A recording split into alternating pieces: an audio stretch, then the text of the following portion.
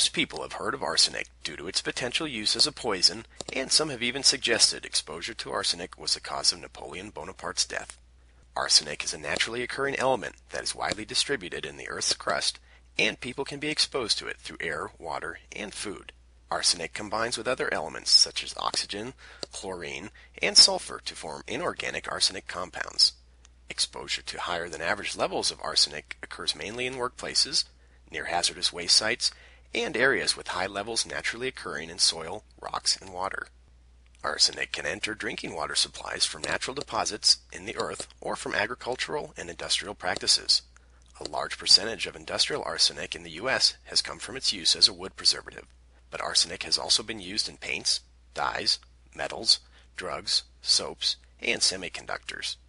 Agricultural applications, mining, and smelting can all contribute to arsenic releases into the environment.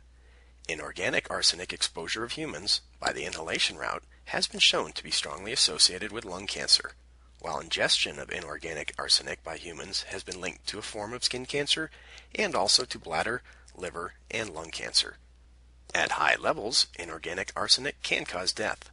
Exposure to lower levels for a long period of time can cause a discoloration of the skin and the appearance of small corns or warts.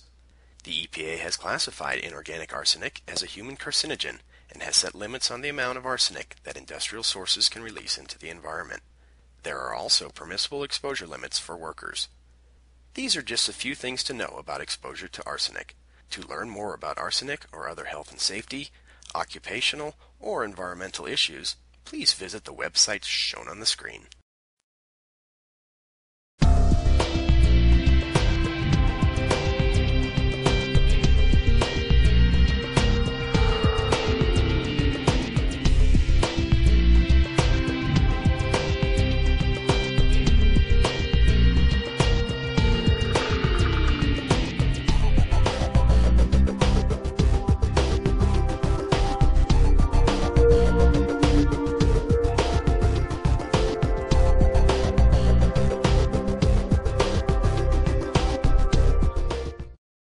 IAQ TV, the place to be.